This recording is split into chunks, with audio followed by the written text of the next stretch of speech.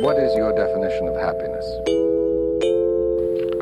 A clear horizon, nothing to worry about.